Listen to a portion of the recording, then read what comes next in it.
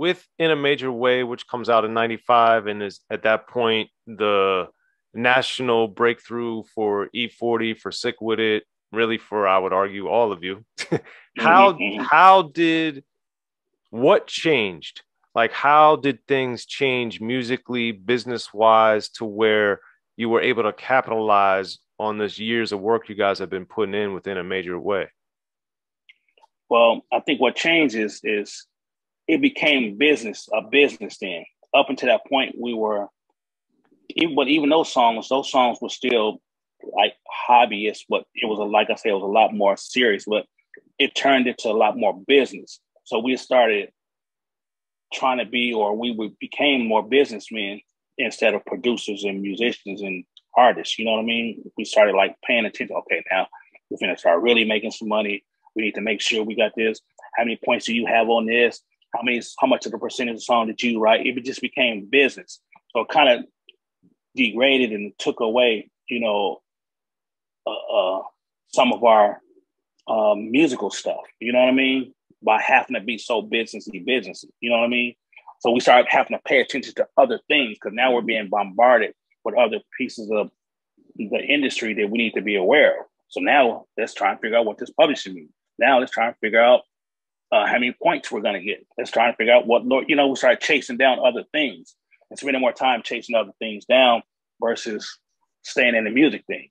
And, you know, because we were all learning, there was no blueprint for this stuff, you know what I mean, on how to move and how to operate. We didn't know that you should have a lawyer to have to do this, you should have an accountant to do that. You know what I mean? We're just musician, producer people, you know? Yeah. Yeah. So it changed us, you know? It changed our whole thing and it just went from a passionate hobby to a business hobby. Mm-hmm. You know, okay. so it kind of changed it. Now, on in a major way, one of the songs that you did was the Dusted and Disgusted, and Pac's on there, Mac Mall Spice one. But the other thing that I thought was interesting, at least to me, and at the time, was that the drums were much more in the foreground and they were much harder than mm-hmm. uh, a lot of the stuff in particular you had done, I would argue, with 40. Um, one, did you feel that way? Do you think that's true? And if so, do you remember why you decided to make them much harder and more prominent on Dusted and Disgusted? I think that uh, uh, I think that why they were it was, that was about the mix. You know, it's the way to mix. So when you have that kind of money, we're being mixed by real people that are, you know, not not necessarily realer than others, but we're mixing on SSLs versus Tascam mixing boards. You know what I mean? We mix on a million dollar console now versus we were mixing on, you know, hundred thousand dollar mixing boards. So these, you know, the engineers had different ears at that time. You know what I mean? So, and the mastering, you know what I mean? They mastered it, it's, we got more money to play with at this point. So of course it, it got it boosted the, you know what I mean? it boosted all of the drums stuff. But that song was just it just was um, drum heavy and and the sounds was so simplistic. The production was so simplistic on it that that's what made the drums stand out so much more because it wasn't a whole bunch of musical stuff going on like that. It just happened in pieces, and the drums was hitting the same time as the bass was hitting. You know what I mean? But the but the bass was stacked with two or three different sounds. So it just made it feel and sound bigger than what it really is. You know what I mean? But like I said, we've been practicing up until that point to know how to get the beefier and, and a bigger sound. You know what I mean? We start knowing about Neves and processors and you know what I mean, stuff like that to make it punch that much more. You know, everybody it was just a sense of urgency on, on a major in a major way. We really felt like we had something to prove. You know what I mean? At that point, to everybody. You know. Yeah. And then Sprinkle Me, of course, which you also produced and mixed, is on there as well. And that's the breakthrough song. But what when it started breaking because we even in Maryland at the time, you know, we had they had made go-go remixes of Sprinkle Me, and I couldn't believe Did it. They? Yeah, wow. and they played them on the radio. And E forty to that point had never, to my knowledge, or ever hearing, because people would always, you know, people knew I love rap and knew a lot about it, so they'd always be like, "Soren, you hear this yet? You hear this yet?" And I'd always tell them yes or no. But I had never heard E40 on the radio in DC or Baltimore until Sprinkle Me. And then they remixed it with Go Go and it got even more radio play. Um, so, that being said, I want you to explain in the 95 era, going from doing these great independent records that are largely regional but are getting love around the country to then getting some significant radio play like Sprinkle Me was getting it and video. Of course, that's also very important, the video play. But how did things change when that was happening? Well, um, you know, that, that was a different kind of success. You know what I mean? So we were, I mean, me and Sam were, we were always into have trying something different and new. And always, we were always trying to get 40 to try and do something different and new. And 40, you know, he wanted to, he didn't want to really do that. You know what I mean? Like, oh, I don't really, I ain't really, you know, but we was like, man, just try it, just do it, just do it. You know what I mean? And so and it's always when that's why I tell songwriters, um, you need to be in a room full of other songwriters, or if you're a producer, you need to be in another room of other, of other producers because you don't know what you may think you know it all, but you may learn a trick or two. And if you just try some stuff, or you may, you know, something that this next person's doing may end up working out for you, but you would have never known that if you hadn't opened up yourself to being in the same room with these people. So that's what my philosophy has been. So that's why we were like trying to tell 40. And 40 from that day on, 40, you know, never was, you know, scared to try anything different or try anything different. You know what I mean? Musically, you know, he felt comfortable with, you know, listening to us at that point, that much more, you know, because it the song came out and Jive pushed it around. We wouldn't have thought it was no big. We didn't think it was gonna be a single like that. We just thought it was, hey, you know, this is a dope little track. Just try it. Well, let's see what happens. We just, you know, trying to be funny. You know what I mean? We're just working on some stuff. But we thought it was a dope groove, you know, but before you're like, nah, I ain't really feeling that. You know what I mean? But it turned out to be one of the biggest songs, you know what I mean? But that's how it happens. It's always like that. It's the song you least expect you don't know what everybody else is gonna like or see outside of yourself, you know? Yeah. Yeah. And Sprinkle Me also has the piano like you have on the Bumble.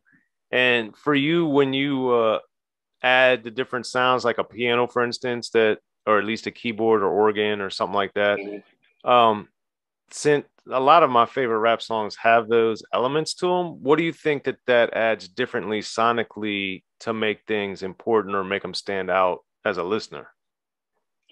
Um, I think that um, I think that it separates you from all the other music. You know what I mean? Most people aren't even doing having piano parts in there, you know, especially back then. You know what I mean? Nobody's really having that kind of stuff back then. And Sam, that's you know, that's the Sam thing. Sam really, like I say, he's a he was an R and B dude. You know what I mean? Super R and B prodigy type dude. So he really knows how to work certain piano parts. You know what I mean? To to make them stand out as accents and as hits. You know what I mean? And it, it just, I think it really adds to the track. You know what I mean? So that's that's why we keep it. That's why we was keeping a lot of that stuff in there. You know what I mean? But if you notice, a lot of that stuff will be stacked with other stuff. You know what I mean? I would stack it with a lot of other stuff. So okay. it's there, but it's not. You know what I mean? It's it's it's cool. It's a cool little sound, but it's still a bunch of strong, beefy stuff around that little small, light sound. You know? Yeah.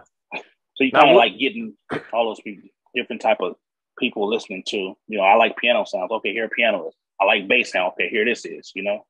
Yeah. It's like a mixture of sounds that we put together. Gotcha. So now with with this success and you know having years of working with 40 years of working with Bo at the time, how did you did you ever like, hey man, you should do a song about this, or oh, you know, why don't we do something like this? was it only did you stay strictly on a musical suggestion or did you guys start talking more bigger things of like oh man why don't you do this? Uh, thematically type of things.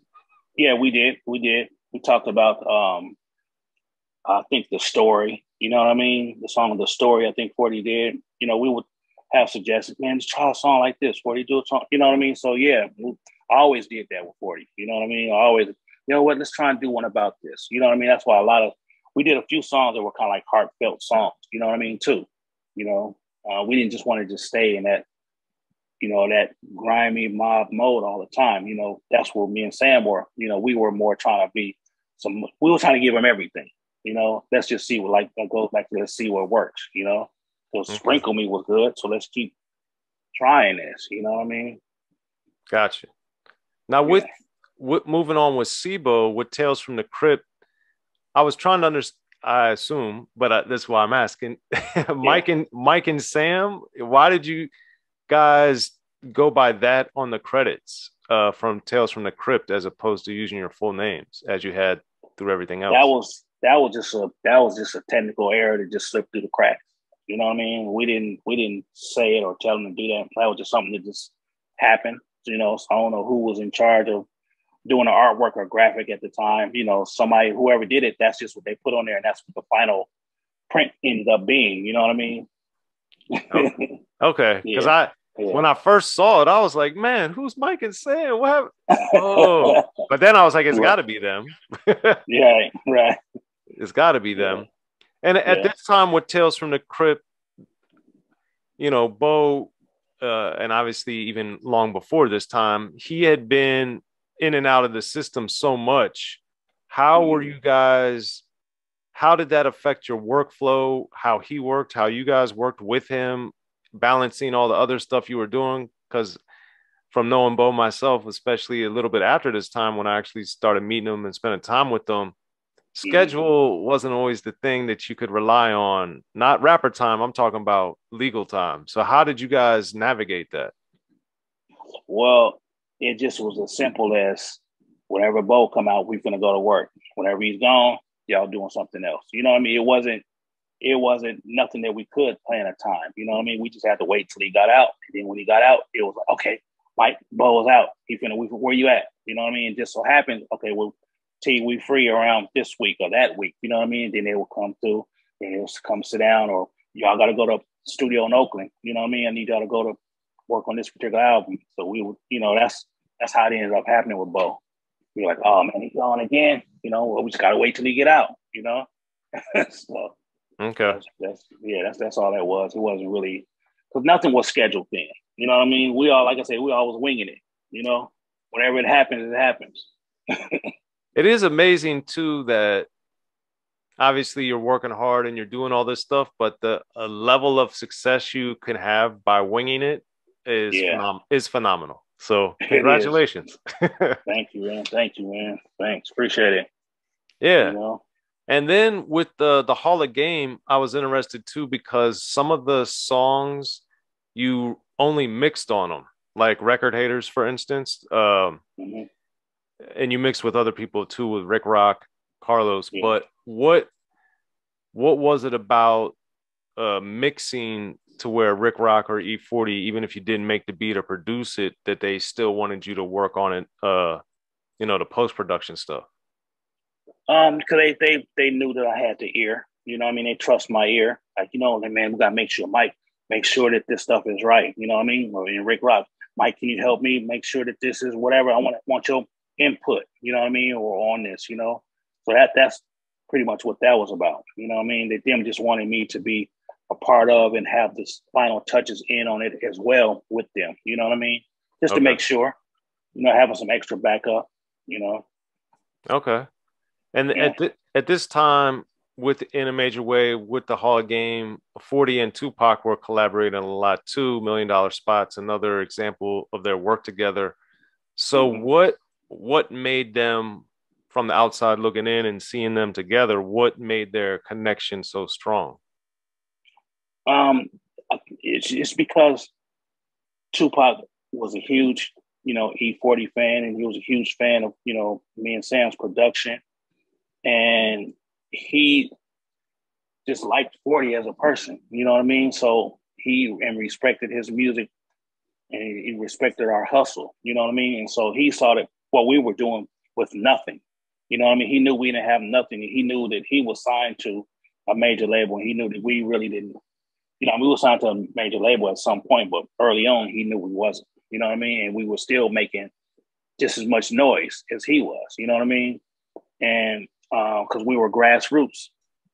And so he just wanted to help us always look back at Pac like he was always trying to make sure and help us build a career so that we can have a career. That's what it seemed like to me. You know what I mean? Looking back at how Pac interacted with us, because he seemed like he went out of his way to make sure that we were a part of what he was doing. You know what I mean? On that, on his level. You know, he like like pulling the hand up. He always had, you know, that picture where his hand reaches out and grabbing somebody. That's Pac. you know what I mean? I always trying to help somebody, you know, get to the next level if he can. You know. No, that's incredible. And I think it's a mm-hmm. testament because, as everybody, you know, I'm sure knows, but Tupac collaborated with dozens, if not hundreds, of artists in his uh, few years of recording, which always blew me mm-hmm. away that he had so many songs by himself, but then he had hundreds of songs with other artists. Uh, mm-hmm. Million Dollar. Spot from the Hall of Game yeah. being one of them. Right. Um, and, you know, I think that's just a testament to him and his uh, collaborative nature. But as far as when we were talking about samples, you had mentioned the story, which is on the Hall of Game, uh, and that sampling uh, the Beastie Boys. So, mm.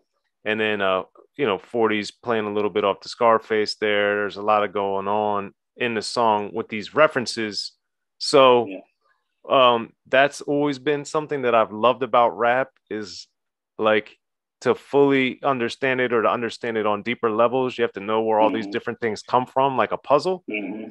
Mm-hmm. So, mm-hmm. so as you make these types of songs, like the story, and you got the Scarface reference, you got the Beastie Boys, you got these different things. Like, does that? Mm-hmm. How does that affect you, or give you any extra sense of pride or satisfaction, or like, oh man, we were able to do that? Like, yeah. So I think that I think it was like because we still are passionate people, right? You know what I mean? So we still like are caring people, whatever, at the end of the day. So the BC, so and we've always listened to other people. So that's why a lot of this, these these little elements of our music come out in our songs and in our production because these are stuff that we listen to. These are artists that we like. You know what I mean? Um, I remember I even used Dana Dane, you know, Nightmare. You know what I mean? On Nightmare, I don't think that I know I ended up meeting Dana Dane later on in life, but I don't even think he realized that we use that song. You know what I mean? But because we like Dana Dane, you know. He's one so, of my friends. Shout out to Dana Dane yeah. as always. Yeah, yeah, you know. So so we we we you know just like with the Beastie Boys, we we liked the, the Beastie Boys, you know, all that Rick Rubin stuff. We you know we love all that Def Jam stuff, East Coast hip hop. we loved it. You know what I mean? We were mad that we couldn't really be a part of it, so we had to like so we're always trying to, where I was always trying to use those elements in our songs because this is what we grew up listening to, you know? So we figured right. that's our go-to. Like, you know what? Here's a little story. So let's, we're talking about a story. Let's go use the B-boy, Beastie Boys, you know? All right. So it just, yeah. Yeah, we felt good doing those things, huh?